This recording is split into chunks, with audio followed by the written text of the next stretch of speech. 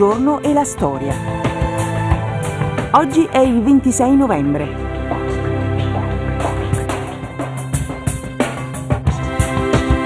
«1980. Nella zona colpita dal terremoto, Sandro Pertini attacca la burocrazia. 1970. Papa Paolo VI parte per un lungo viaggio in Asia e Oceania.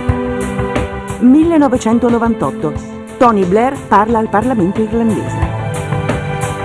Commenta il fatto del giorno Mario Calabresi, direttore della Repubblica.